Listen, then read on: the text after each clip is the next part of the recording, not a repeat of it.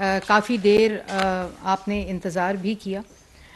सबसे पहले तो मैं इस बात से आगाज़ करना चाहती हूँ कि पिछले दो तीन माह से मुल्क के अंदर जो एक सियासी अदम इसकाम है और एक अदालती कार्रवाई जो इस वक्त मुल्क की सियासत के ऊपर डोमिनेट कर रही है उसके ऊपर आज एक बहुत ही बड़ा फ़ैसला आया है जिसमें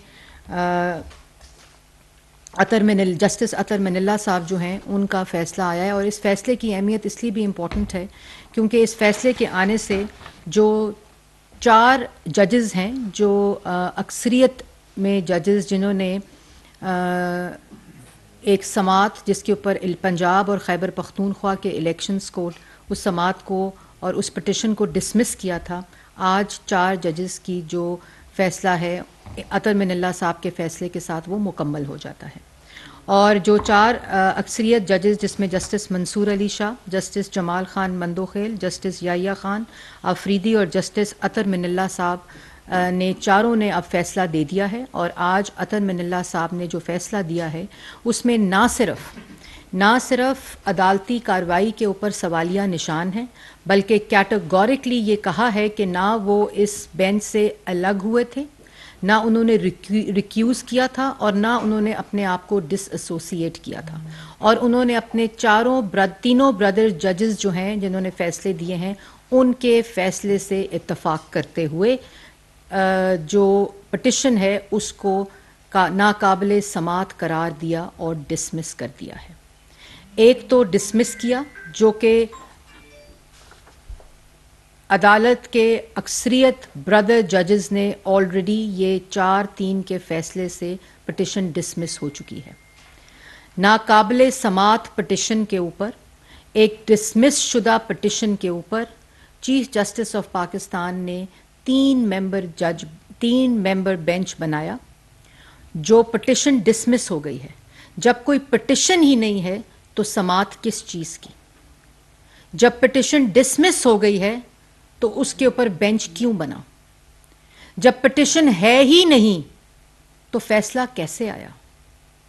और पीछे आपने देखा कि सियासी जमातों ने एक मौकफ लिया कि आप फुल कोर्ट बना दें। अगर आपने इसके, हालाँकि वो पटिशन डिसमिस हो चुकी है, लेकिन जिन्होंने डिसमिस की, उन्होंने भी जो जज सुप्रीम कोर्ट के अक्सरियत के चार जजेस हैं, उन्होंने कहा कि फुल कोर्ट बना दें और इसके ऊपर एक कंट्रोवर्सी का शिकार हो गई है। इसके ऊपर एक फुल कोर्ट बनाकर फैसला ले लें ताकि पाकिस्तान की आवाम का एतमाद कोर्ट के ऊपर बहाल हो सके। सियासी जमातों ने ये ये जानते हुए कि ये डिसमिस हो गई है पटिशन इस और वो सियासी जमातें जो इस मुल्क को बनाने में जिन्होंने अपना किरदार अदा किया है उन्होंने ये कहा कि इसके ऊपर आप फुल कोर्ट बना दें, क्योंकि एक दस्तूरी आइनी सवालात उठ गए हैं, उसके ऊपर एक फुल कोर्ट बना दें ताकि अवाम इसको, फैसले को तस्लीम कर ले। तीन मेंबर बेंच बना और अभी एक शख्स एक शख्स कह रहे थे कि ये बेंच का मामला नहीं, ये इलेक्शन का मामला है। ये बिल्कुल इलेक्शन का मामला नहीं है। जो मीडिया कह रहा है, जो पार्लियामान कह रही है, जो सियासी जमातें कह रही हैं, सियासी जमातें इलेक्शन से भागती नहीं होती। लेकिन इलेक्शन के वो फैसले जो मुसलत कराए जाएँ जो अपनी सियासी हमत अमली को तकवीत देने के लिए कराए जाएँ वो नाकाबिल कबूल और अनएक्सेप्टेबल होते हैं। ये इलेक्शन का मामला नहीं रहा। ये अब उस बेंच फिक्सिंग का मामला है। ये अब उस सह, अदालती सहूलतकारी का मामला है जो आज अतर मिनल्ला साहब ने जिस पर सवालात उठाए हैं।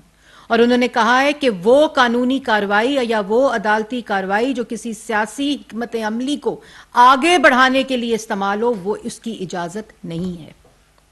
और ये बात सिर्फ़ इस इलेक्शन की पटिशन या इन चार से तीन के अक्सरियत फैसले को इसको, इस पटिशन को डिसमिस करने की बात नहीं है। ये इसके दो पहलू हैं। ये वारदात दो तरीकों से हो रही थी। इसका एक सियासी पहलू है और इसका एक अदालती पहलू है। और जब अदालती पहलू सियासत के ऊपर असरअंदाज हो, जब अदालती कार्रवाई मुतनाज़ा हो जाए और उसको सुप्रीम कोर्ट के अपने अक्सरियती जजेस का बेंच उसको ना माने, सुप्रीम कोर्ट के अंदर उसकी तकसीम हो, जिस फैसले को सुप्रीम कोर्ट के ब्रदर जजेस और अक्सरियत जजेस की ना माने, वो अवाम कैसे माने? वो कैसे तस्लीम कर लिया जाए कि वो फैसला शफाफ है, कानून के मुताबिक है और आइन के मुताबिक है? और आज अतर मिनल्ला साहब की जो जजमेंट आई है, ये इस बात की निशानदेही करती है कि एक, ये ऑलरेडी डिसमिस पटिशन थी, इसके ऊपर बेंच नहीं बन सकता था और इसका फैसला गैर कानूनी और गैर आइनी है। तो फिर सवाल ये उठते हैं कि अदालती सहूलतकारी क्यों? क्यों ये झूठ बोला गया कि जजेस ने अपने आप को रिक्यूज कर लिया है। क्यों ये झूठ बोला गया कि जजेस ने अपने आप को इससे अलहदा और डिसएसोसिएट कर लिया है? और क्यों उस झूठ का सहारा लेते हुए एक मुतनाज़ा तीन बेंच उस पटिशन पे बनाया जो डिसमिस हो चुकी है? मुल्क की अदालती तारीख में मुल्क की आईनी तारीख में कभी ऐसा फैसला कभी ऐसा आ, नहीं हुआ कि एक पटिशन खारिज हो जाए। एक पटिशन हो ही ना और उसको सुप्रीम कोर्ट की अक्सरियत उसको डिसमिस कर दे। उसके ऊपर तीन बेंच बना दें चीफ जस्टिस ऑफ़ पाकिस्तान और उसके ऊपर तीन बेंचेस के अंदर एजाजुल एहसन साहब जो ऑलरेडी एक मुतनाज़ा उनके उनका तासुर है कि उनको हर उस बेंच में बिठाया जाता है जिसके जो आ, पाकिस्तान तहरीक इंसाफ के हक में फैसला आना हो। बेंच बनने से पहले यह तासुर होता है कि इसका फैसला क्या आएगा। क्या ये सुप्रीम कोर्ट का ये आईनी किरदार है?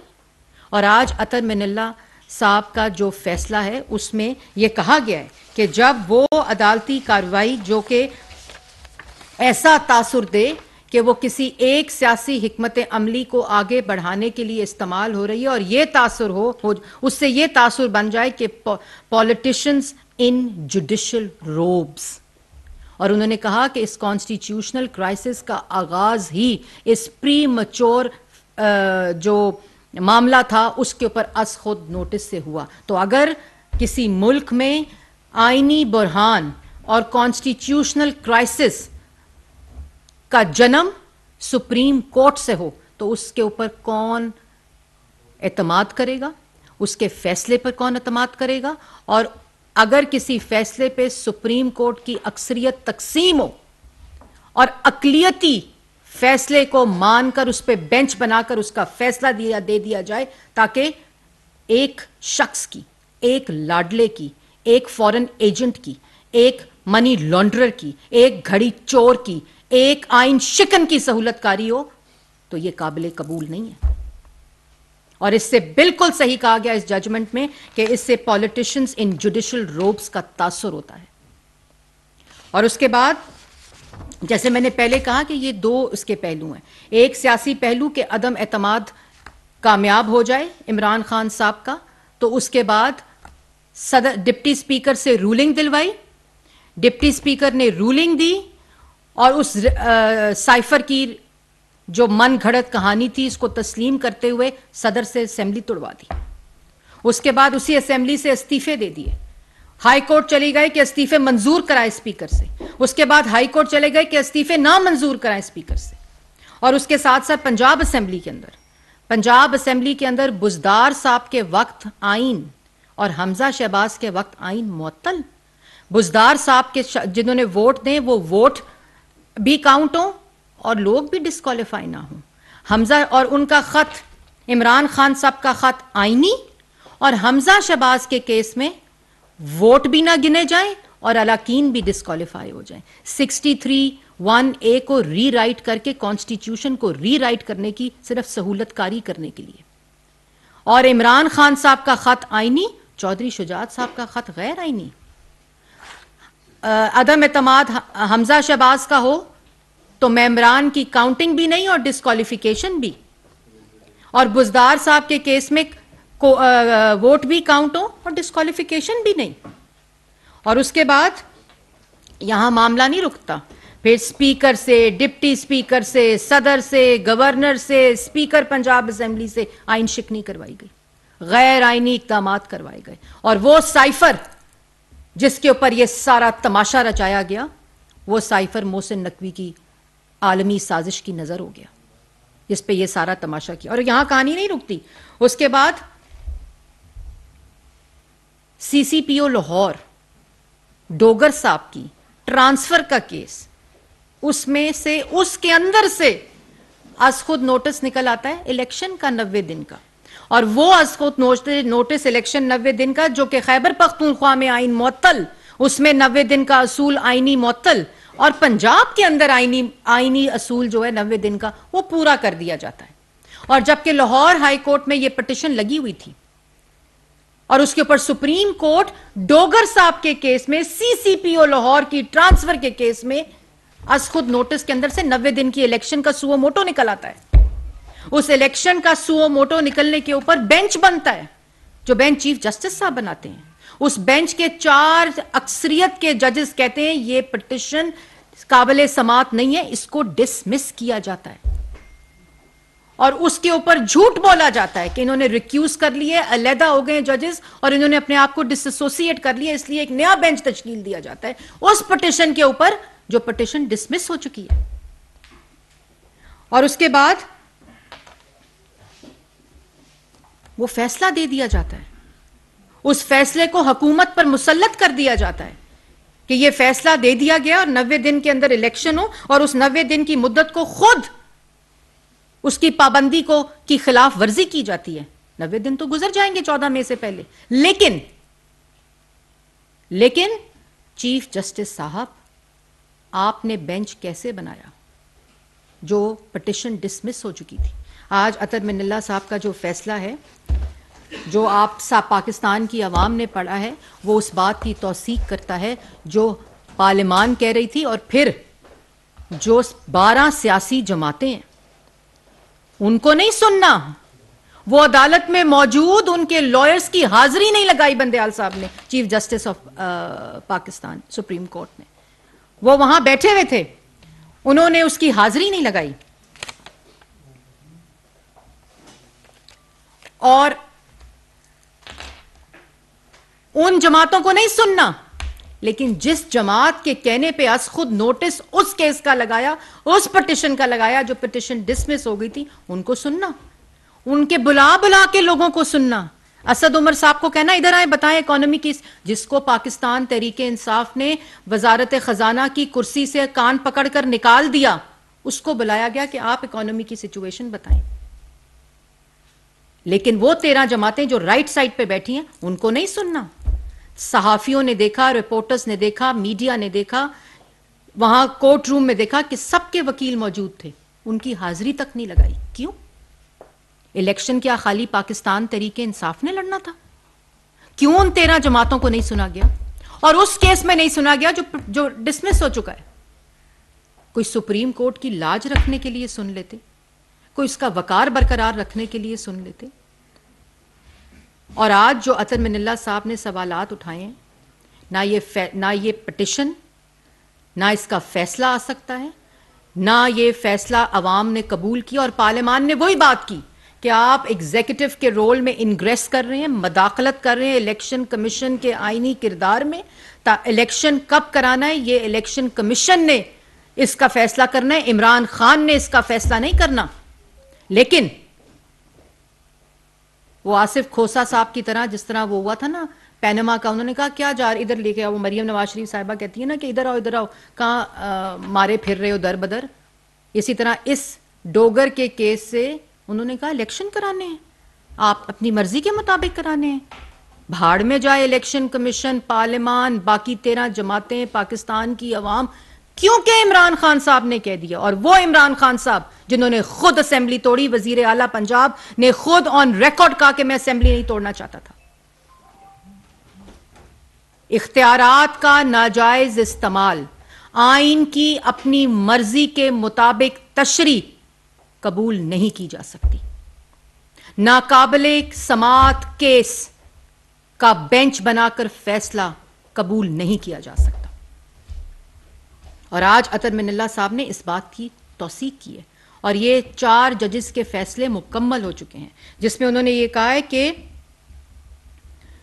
सबसे जो इंपॉर्टेंट बात जो मैं आपके सामने पढ़ना चाहती हूँ the chief justice and the जजेस collectively constitute the supreme court of Pakistan और उसके बाद उन्होंने ये कहा है कि मैं इतफाक करता हूँ। मैं एतफाक करता हूँ अपने ब्रदर जजेस की तमाम जजमेंट के साथ, और अवाम का एतमाद उस वक़्त ख़त्म हो जाता है जब अदालत को सियासी तौर पर मुतसब और और जजों को पोशीदा सियासतदान समझा जाता है।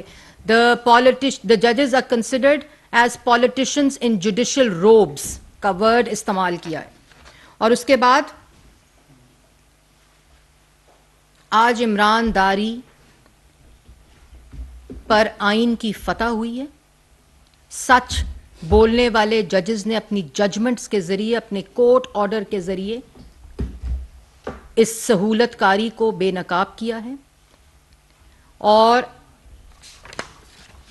एक और बात जो बहुत इंपॉर्टेंट है कि इस फ़र्ज़ की खिलाफ वर्जी की सूरत में ज़िम्मेदारी चीफ जस्टिस और तमाम जजेस पर आयद होगी, क्योंकि वो मिलकर सुप्रीम कोर्ट तश्कील देते हैं। बेंचों की तश्कील और मुकदमात की तकसीम का अमल शफाफ मुनफाना और गैर जानबदाराना होना चाहिए। अदालत को किसी भी स्टेक होल्डर्स को अपनी सियासी हमत अमली को आगे बढ़ाने या दूसरे हरीफों पर फ़ायदा हासिल करने के लिए अपना फोरम इस्तेमाल करने की इजाज़त नहीं देनी चाहिए। और उन्होंने ये कहा कि जब पटिशनर आए और अस खुद नोटिस लिया जाए तो इसमें और भी ज़्यादा एहतियात बरतनी चाहिए। और जो पटिशनर है, उसकी नीयत, उसका तर्ज अमल, उस पटिशन से पहले क्या रहा है, उसको जाँच कर अस खुद नोटिस लेना चाहिए। तो इस सूरत में पटिशनर साइफर वाला था, झूठी आलमी साजिश वाला था। इस केस में पटिशनर मुल्क के खिलाफ साजिश करने वाला था। फॉरेन एजेंट था। घड़ी चोर था। टेरियन का वालिद था। पहले लॉन्ग मार्च का तमाशा लगाया। फिर जेल से बचो तहरीक का तमाशा लगाया। उसके बाद सिर्फ़ अदालत से बचने के लिए ये इलेक्शन का ड्रामा कराया। और असेंबलियाँ तहलील की। अगर असेंबलियाँ तहलील करनी थी तो फिर पहले जो असेंबली तहलील की, फिर इस्तीफे दिए तो फिर इस्तीफे मंजूर क्यों कराए? वो असेंबली जो खुद तोड़ना चाहता था जिससे खुद इस्तीफा देकर इस्तीफा दिया और उसकी सहूलतकारी शुरू हो गई। और उसके बाद जिस अंदाज और तरीके से यह कार्रवाई शुरू की गई यह अतर मिनल्ला साहब का फैसला कहता है, जिस अंदाज और तरीके से यह कार्रवाई शुरू की गई, इसने अदालत को गैर ज़रूरी तौर पर सियासी तनाजात से दो चार कर दिया है। और यह इनवाइट किया है कि लोग क्रिटिसिज्म करें और क्यों ना करें। ये 22 करोड़ अवाम, भेड़ और बकरियाँ नहीं है, जिनको कुछ नज़र ना आए कि फैसला आ जाए डिसमिस का, उसके ऊपर बेंच बन जाए, उस पर हम ख्याल ग्रुप आ जाए, उस पर समाज शुरू हो जाए, उसका फैसला आ जाए कि बाकी फरीकों को ना सुनने के बावजूद। ऐसा तो नहीं हो सकता। ऐसा कैसे होगा?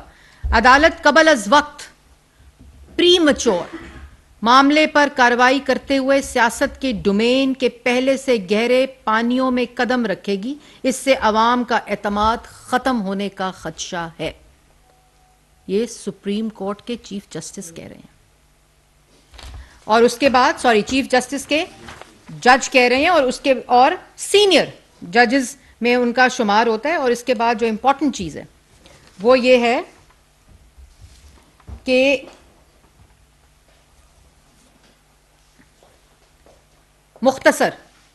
ये बात आया हो चुकी है कि इमरानदारी की जा रही थी, इमरान खान की सहूलतकारी की जा रही थी। चार जजेस ने पटिशन डिसमिस कर दी थी।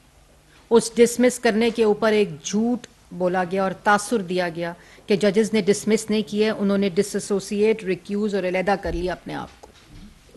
अदालती कार्रवाई के ऊपर झूठ बोलकर तीन बेंच बना दिया गया। उस पटिशन के ऊपर जो डिसमिस हो चुकी थी, उसका फैसला कर दिया गया। उस फैसले को मुसलत कर दिया गया। पार्लियामान ने उसको रिजेक्ट कर दिया। पार्लियामान ने कहा यह मदाखलत है। पार्लियामान ने कहा कि यह मुतनाज़ा बेंच नहीं बन सकता। पार्लियामान ने कहा यह अस खुद नोटिस नहीं लिया जा सकता था। जिसको जिसके ऊपर सुप्रीम कोर्ट खुद तकसीम हो गई, वो फैसला कैसे पाकिस्तान की अवाम माने? और फिर बार बार उन्होंने ये कहा कि चलें डिसमिस भी हो गई है। लेकिन पाकिस्तान की आवाम के अतमाद की खातिर वो पोलिटिकल जमातें जो मुल्क में सियासी अदम इस्तेकाम नहीं चाहती थी, उन्होंने कहा, फुल कोर्ट बना दें। हमें फुल कोर्ट का फैसला कबूल होगा। चारों अक्सरियती जजेस ने कहा, फुल कोर्ट बनना चाहिए। आज अतर में मिनल्ला साहब के फैसले ने कहा कि इसके ऊपर खुल ना अज खुद नोटिस बनता था, ये ये प्री केस था। इससे तासुर आ रहा है कि एक सियासी हमत अमली को आगे बढ़ाने की इजाज़त दी गई। इससे कॉन्स्टिट्यूशनल क्राइसिस इस अस खुद नोटिस से शुरू हुआ। और उन्होंने कहा, डेढ़ लाख पटिशन जहाँ अस खुद नोटिस जहाँ ह्यूमन राइट्स की वायलेशन जिसकी स्पिरिट आइन की कहती है कि वहाँ आप अस खुद नोटिस ले देते हैं, वहाँ डेढ़ लाख एप्लीकेशन जो है वो पेंडिंग पड़ी हुई हैं। इससे मिसकॉन्डक्ट आइन की गलत तशरी और इख्तियार का नाजायज इस्तेमाल। ये चारों जजेस के जो फैसले हैं, ये खुद इसके ऊपर मोर लगाते हैं। इसके बाद चीफ जस्टिस ऑफ़ पाकिस्तान की अपनी जो पोजीशन है, वो मुतनाज़ा हो गई है। उनको स्टेप डाउन करना चाहिए और उनको ये ये बात बतानी चाहिए, ये कर, और ये जो दूसरी प्रोपोगेंडा सियासी जमात है ना, जिनको ना इलेक्शन से कोई सरोकार है ना कोई उनको इस मुल्क से सरोकार है, वो एक साजिशी टोला है। वो जो कह रहे हैं ना, ये इलेक्शन का मामला है। ये बेंच का मामला नहीं है, ये बेंच का मामला है, ये सुप्रीम कोर्ट का मामला है, ये आइन का मामला है, ये कानून का मामला है, ये चीफ जस्टिस ऑफ़ पाकिस्तान के इख्तियार का मामला है, ये आइन की तशरी का मामला है, जो एक के लिए मुअत्तल नहीं हो सकता और दूसरे के लिए के लिए लागू नहीं हो सकता। ये किसी की मर्ज़ी, किसी की मंशा के मुताबिक लागू और मुअत्तल नहीं हो सकता। यह इमरान खान के लिए मुअत्तल और लागू नहीं हो सकता। इसके ऊपर किसी किस्म की आइन के साथ खिलवाड़ की किसी को इजाज़त नहीं दी जा सकती। और कल कल पार्लियामान का इसके ऊपर दो टोक फैसला आ चुका है। यह तमाशा एक 2017 में काली लॉ, ब्लैक लॉ डिक्शनरी का सहारा लेकर मुल्क के तीन दफ़ा मुंतखब वज़ीर आज़म को पैनमा पे नहीं, बल्कि उस अकामा के ऊपर जिसमें तनख्वाह ना लेने की सजा देकर डिस्कालीफाई किया गया। फिर पूछते हैं, मीशत ठीक क्यों नहीं होती? रोज़गार क्यों नहीं मिलता? वो इसलिए नहीं मिलता क्योंकि जब वज़ीर आजमों को एक स्ट्रोक ऑफ़ पेन के साथ गलत फैसलों के ऊपर और उसके बाद गवाही आ चुकी कि ये वो गलत फैसला था। उसके बाद डिस्कालीफाई कर दिया जाता है जब मीशत छह अशारिया दो फ़ीसद में तरक्की कर रही होती है। जब मुल्क के अंदर चौदह हज़ार मेगावाट बिजली लग रही होती है। जब आटा पैंतीस रुपए का और चीनी चीनी बावन रुपए की होती है। उस वक्त वज़ीर आज़म को निकाल दिया जाता है और फिर पूछते हैं, मीशत, संभल क्यों नहीं रही? ये वो फैसले जो कि पाकिस्तान की आवाम की के फैस, के ऊपर असरअंदाज होते हैं, मीशत के ऊपर असरअंदाज होते हैं, रोज़गार के ऊपर असरअंदाज होते हैं, मुल्क की तरक्की के ऊपर असरअंदाज होते हैं और फिर उसके ऊपर सवाल उठाते हैं कि मीशत ठीक क्यों नहीं, मीशत इसलिए ठीक क्यों नहीं हो रही क्योंकि एक ऐसे शख्स को फैसले से मुसलत किया गया, आरटीएस को बिठाकर मुसलत किया गया, जिसने मुल्क की मीशत को तबाह किया, आवाम को बेरोजगार किया और आवाम की आटा, चीनी, बिजली, गैस, दवाई को महँगा किया और आवाम के पेट के ऊपर डाका डाला। आज उसी की सहूलत की कारी की जा रही है, जिसने किसी भी जिसने किसी भी दोस्त ममालिक को साथ नहीं रहने दिया और एक कागज़ लहराकर कागज़ लहराकर तमाशा बनाने की कोशिश की, जो बाद में कहा, मोहसिन नकवी ने मेरे खिलाफ साजिश की थी। जब एस्टेब्लिशमेंट न्यूट्रल होती है तो उसको जानवर कहता है। जब सुप्रीम कोर्ट उसके खिलाफ फैसले देती है तो चीफ जस्टिस ऑफ़ पाकिस्तान के तस्वीर के ऊपर जूतियाँ मारता है।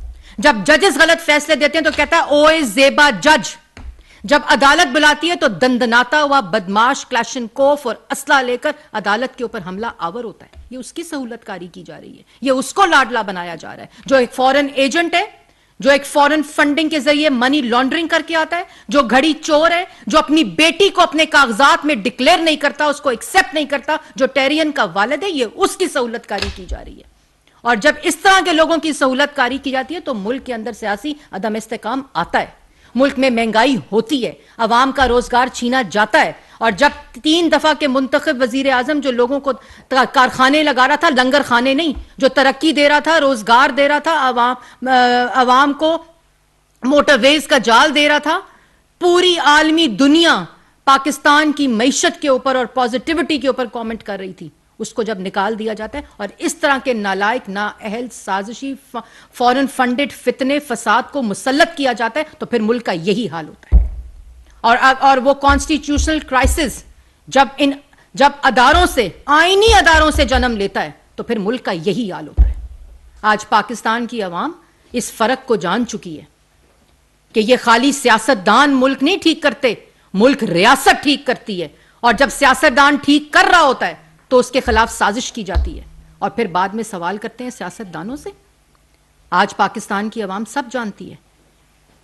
ये तमाशा खत्म होना चाहिए। ये आइन के साथ खिलवाड़ खत्म होना चाहिए। मुल्क के अंदर बिल्कुल इलेक्शन होने चाहिए। लेकिन किसी की मर्ज़ी, किसी की धौस, किसी की धमकी की वजह से नहीं, बल्कि आईनी तरीके से एक वक्त में पूरे मुल्क में इलेक्शन होने चाहिए। यह कोई इलेक्शन का मामला नहीं है। यह मुल्क के अंदर जो आइन की गलत तशरी बार बार बार करके आइन के ऊपर हमला किया जा रहा है यह मामला उसका है। जी सवाल। मैडम ये आप बता रहे कि ये जो जज साहबान हैं आज तो फैसले दे रहे हैं। क्या वजह है ये उस वक्त क्यों नहीं बैठे बेंच के अंदर जब पाँच रुकीन बेंच जो है आठ दिन मुसलसल समाप्त कर रहा था? सॉरी क्योंकि इसलिए नहीं बैठे? बड़ा कमाल सवाल है मेरी प्रेस टॉक की सारी इस बात पे थी। वो इसलिए नहीं बैठे कि वो फैसला दे चुके थे। वो इस पटिशन को डिसमिस कर चुके थे। सवाल ये नहीं पैदा होता कि वो चार जजेस इस फैसले में क्यों नहीं बैठे जो पटिशन डिसमिस थी। सवाल ये पैदा होता है कि एक डिसमिस पटिशन के ऊपर चीफ जस्टिस ऑफ़ पाकिस्तान ने क्यों बेंच बनाया? जब अक्सरियत का फैसला उसको डिसमिस कर चुका था, जब कोई पटिशन ही नहीं थी तो बेंच कैसे बना? जब कोई पटिशन ही नहीं थी तो उस बेंच का फैसला कैसे आया? और उसके फैसले को कैसे तस्लीम किया जाए, वो आइन के खिलाफ है, वो सुप्रीम कोर्ट के खिलाफ है, वो आइन की तशरी के खिलाफ है, वो कानून के खिलाफ है, उसको एक्सेप्ट नहीं किया जा सकता। तो इसी मौजू पर नेशनल सिक्योरिटी कमेटी ने तौर पर इस मौजू पर क्या कुछ फैसले लिए जी सिक्योरिटी जो नेशनल सिक्योरिटी कमेटी की मीटिंग हुई है बहुत तफसीली मीटिंग आ, चार साढ़े चार घंटे वो मीटिंग जारी रही जिसके अंदर तफसीली जो इस वक्त दहशत गर्दी की लहर और मैं ये भी बताती चलूँ ये दहशत गर्दी की जो लहर है ना ये 2018 में दफन हो गई थी दहशतगर्दी। नवाज़ शरीफ ने इस मुल्क को national security policy national action plan और दहशत गर्दों के खिलाफ खड़ा होकर इस पूरी कौम को इकट्ठा करके, यकजा करके मुल्क के अंदर से दहशत गर्दी की कमर तोड़ दी थी। वही दहशत गर्दी 2018 के बाद इमरान खान की वजह से वापस आई, जो जो इनविटेशन कार्ड्स दे रहा था कि आओ आओ, खैबर पख्तूनख्वा में आओ, जो उनकी पनागाहें दहशत गर्दों की बनवा रहा था। जिन्होंने ओपन इन्विटेशंस दिए जिन्होंने ओपन वादे किए।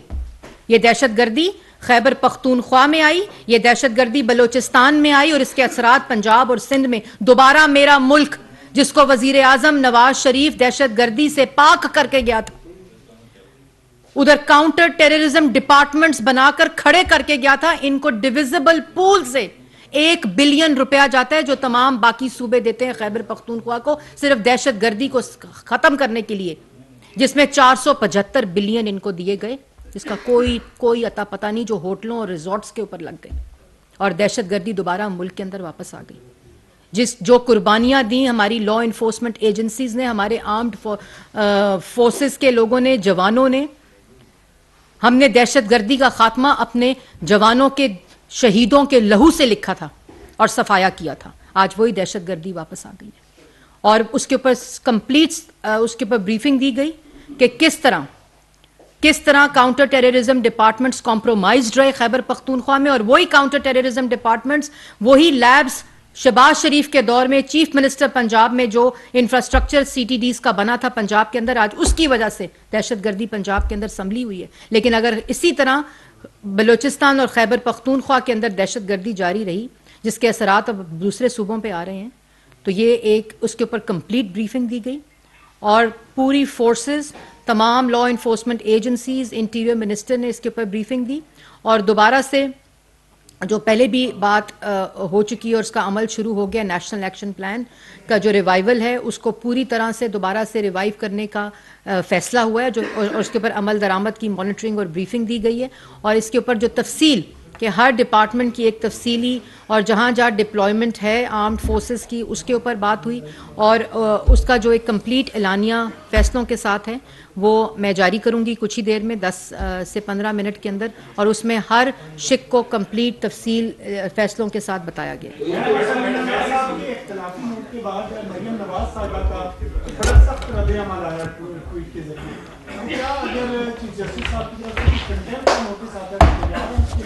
देखिए पहली बात तो ये है कि कंटेम्प्ट उस फैसले पे बात हुई है उस फैसले पे स्टेप डाउन करने का कहा जा रहा है जो कि सुप्रीम कोर्ट के जजेस ने कहा है कि मुतनाज़ा फैसला है कंट्रोवर्शियल फैसला है उसने कॉन्स्टिट्यूशनल क्राइसिस क्रिएट किया मुल्क के अंदर उसने ये तासुर दिया है कि अ, किसी जमात की सियासी हमत अमली को आगे बढ़ाया जा रहा है और ये ये अ, बेंच किस आईनी और कानूनी तशरी के मुताबिक बना था, उस पटिशन पे जो कि डिसमिस हो चुकी है।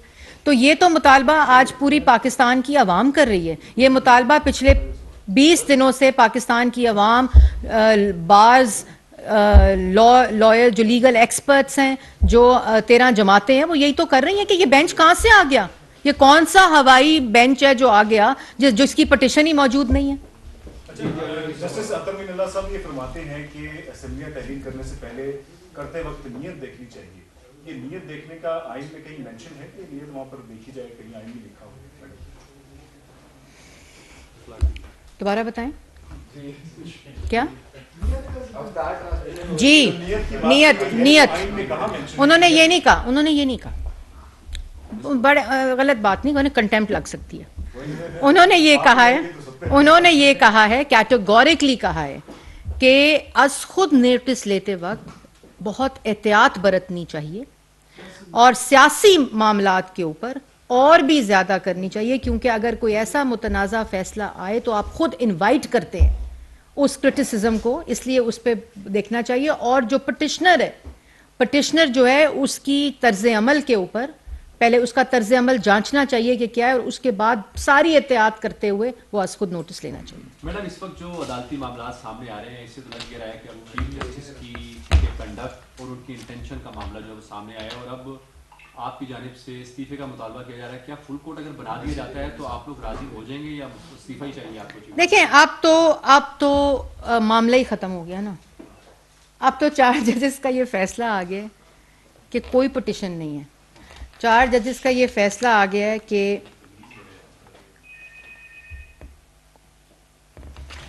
एक फैसला आ चुका है कि पटिशन ही नहीं है। ये मज़ाक ये मज़ाक है। एक पटिशन नहीं, उसको चार जजेस ने डिसमिस कर दिया।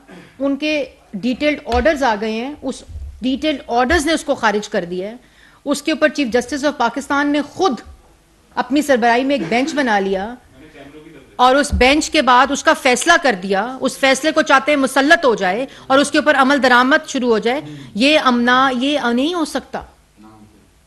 दिस इज़ ये, this- ये मुमकिन नहीं है। इसका ना आइन इजाज़त देता है, इसकी ना कानून इजाज़त देता है और ना सुप्रीम कोर्ट के ओ चार जजेस के अक्सरियती फैसले इजाज़त देते हैं।